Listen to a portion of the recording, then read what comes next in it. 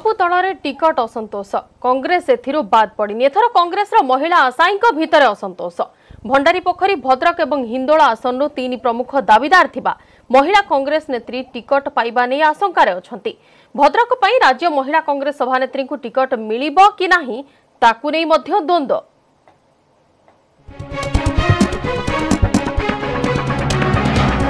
କଂଗ୍ରେସରେ ଟିକେଟ ଅସନ୍ତୋଷ। ଏଥର ମହିଳା ପ୍ରାର୍ଥୀଙ୍କ ବିଦ୍ରୋହ। ଭଣ୍ଡାରୀ ପୋଖରୀ ଆସନ ପାଇଁ ପ୍ରବଳ ଦାବିଦାର ମନେ କରାଯାଉଥିବା ମହିଳା କଂଗ୍ରେସର ସାଧାରଣ ସମ୍ପାଦିକା ସୁଜାତା ଜେନାଙ୍କୁ ଟିକଟ ମିଳିବ କି ନାହିଁ ତାକୁ ନେଇ ସସ୍ପେନ୍ସ ଜାରି। ଆଶା ଓ ଆଶଙ୍କାରେ ସୁଜାତା। କାରଣ କୁହାଯାଉଛି ଘଷିପୁରା ସହ ଭଣ୍ଡାରୀ ପୋଖରୀ ଆସନକୁ ଆଖେଇଛନ୍ତି ନିରଞ୍ଜନ। ବଦ୍ରିଙ୍କ ଖୋଲା ଚ୍ୟାଲେଞ୍ଜ ନିରଞ୍ଜନକୁ ବାଧ୍ୟ କରିଛି ଘଷିପୁରା ଫାଇଟ୍ ପାଇଁ। କିନ୍ତୁ ଭଣ୍ଡାରୀ ପୋଖରୀ ତାଙ୍କ ପାଇଁ ସମ୍ମାନର ପ୍ରଶ୍ନ। ଗ୍ରାଉଣ୍ଡ ସ୍ଥିତି କିନ୍ତୁ ଅଲଗା। ମହିଳା କଂଗ୍ରେସ ସଂଗଠନ ସହ ପଞ୍ଚାୟତ ସ୍ତରରେ ବେଶ୍ ପତିଆରା ରହିଛି ସୁଜାତାଙ୍କର। କାରଣ ଭଣ୍ଡାରୀପୁକୁର ସଂଗଠନ ଆପଣମାନେ ଦେଖନ୍ତୁ କ'ଣ ମୁଁ ନ କରିଛି? ଏମିତିକି ଇଭେନ୍ ଚେୟାରମ୍ୟାନ୍ ବି ଆମେ କରିଛୁ। ମାନେ ସରପଞ୍ଚ ପି ଏସ୍ ମେମ୍ବର ସବୁ ଥାଉଁ ଥାଉଁ ଲୋକମାନେ ସଂଗଠନ କରିକି ମିନିମମ୍ ପାଞ୍ଚ ବର୍ଷ ଧରି ମାନେ ମୁଁ ସଂଗଠନରେ ରହିଛି ପୁରା। ନିଜେ ମୁଁ ଏରିଆଟା କରିଛି ମୋ ଲୋକମାନଙ୍କ ସାଙ୍ଗରେ ରହିଛି ଦୁଃଖ ସୁଖରେ। ମୋ ଲୋକମାନେ ମୋତେ କ୍ୱେଶ୍ଚନ୍ କରୁଛନ୍ତି ଯେ ରାତି ପାଇଲା ବେଳକୁ ମ୍ୟାଡ଼ାମ୍ ଆପଣଙ୍କ ଦୁଆରକୁ ଚାଲି ଯାଇଥିଲୁ।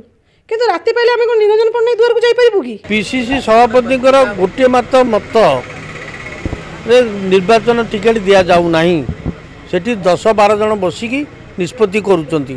ତେଣୁ ସେଇ ଦଶ ବାର ଜଣଙ୍କ ଭିତରେ ମୋ ମତ ଯାହା ମୁଁ ଉପସ୍ଥାପନ କରିଛି ମୋ ମତ କେଉଁଠି ଗ୍ରହଣ କରାଯାଇଛି ମୋ ମତ ବି ଗ୍ରହଣ କରାଯାଇ ନାହିଁ ଏଠି ନିଷ୍ପତ୍ତିଟା ୟୁନାନିମସ୍ ରାଜ୍ୟ ମହିଳା କଂଗ୍ରେସ ସଭାନେତ୍ରୀ ସୁମିତ୍ରା ଜେନା ବି ଖପା ସୂଚନା ମିଳିଛି। ଭଦ୍ରକ ଆସନ ପାଇଁ ମନ କରିଥିବା ସୁମିତ୍ରାଙ୍କୁ ମନା କରିଦେଇଛି ଏଆଇସିସି ପିସିସି ବି ସୁମିତ୍ରାଙ୍କ ସପକ୍ଷରେ ନାହିଁ। ହିନ୍ଦୋଳ ଆସନ ପାଇଁ ବଡ଼ ଆଶାୟୀ ମମତାଞ୍ଜଳି ବେହେରାଙ୍କୁ ଟିକଟ ମିଳିବ କି ନାହିଁ ସେ ଦ୍ୱନ୍ଦ୍ୱରେ ଏଥିପାଇଁ ସେ ଡେରା ପକାଇଛନ୍ତି ନିରଞ୍ଜନଙ୍କ ଘର ଆଗରେ। ମମତା ଏବେ ଢେଙ୍କାନାଳ ଜିଲ୍ଲା ମହିଳା କଂଗ୍ରେସର ସଭାନେତ୍ରୀ ଅଛନ୍ତି।